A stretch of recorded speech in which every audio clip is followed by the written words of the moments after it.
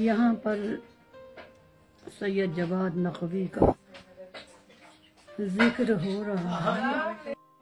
ان کے شخصیت کے بارے میں بات۔ ہے تو میرا صرف ایک چھوٹا سا ایک ہے اس معاملے تجزیہ کہ دیکھیں شخصیت کو پہچاننے والے نہیں ہیں۔ بہت چھوٹی چھوٹی چیزوں کو شخصیت کہتے ہیں۔ لیکن گہرائی میں سوچنے والے بہت کم بہت کم۔ دیکھیے، میری دعا جو رہتی ہے روز جنرل سلیمانی، سید حسن نصر اللہ، سید جواد نقوی۔ یہ تین جو ہیں، ویسے تو ہیں، بہت سے ہیں، ماشاءاللہ۔ سلمان علی سلمان ہیں۔ لیکن یہ تین ہستیاں اور ان سے کنیکٹڈ امام خمینی ہی ہیں ظاہر۔ تو یہ تین ہستیاں سمجھ میں اگر کسی کے آ گئیں تو وہ سچا اسلام اسلام سمجھ لے گا، شیعت تو سمجھے گا، لیکن سچا اسلام سمجھ۔ لیکن مشکل یہ ہے کہ ابھی تک لوگوں سے میں نے پوچھا، جنرل سلیمانی کو کوئی جانتا نہیں۔ عاشورے کو کس نے بچایا؟ عاشورے کو جنرل سلیمانی کو کوئی جانتا نہیں۔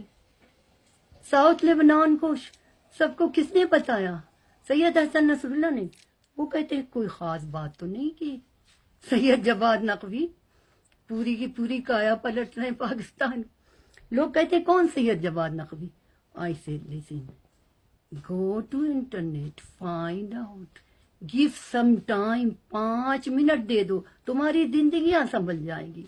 تم جھوٹے جھوٹے خالی خالی لوگوں کو دوستوں میں نہیں شمار کرو، وہ تمہارے دوست نہیں ہے میرا خود زندگی کا آزمایا ہوا ہے دور۔ تمہارے صرف وہ دوست ہیں جو یہ کیریکٹر، یہ کردار جنرل سلیمانی، سید حسن نصر اللہ، سید جواد نقوی اور ان کے supporter and of course Zakzaky and this and that Ahu many many many تو یہ میری تھی۔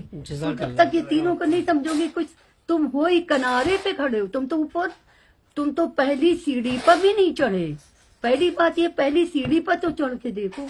جب تمہیں پتا چلے گا دوسری سیڑھی تیسری سیڑھی پھر تم اپنے آپ اوپر آخری منزل تک پہنچو گے۔ اور جب پہنچو گے منزل پر دیکھو گے نور کے علاوہ کچھ ہے ہی نہیں۔ لیکن تمہیں اپنے کو جگانا ہوگا۔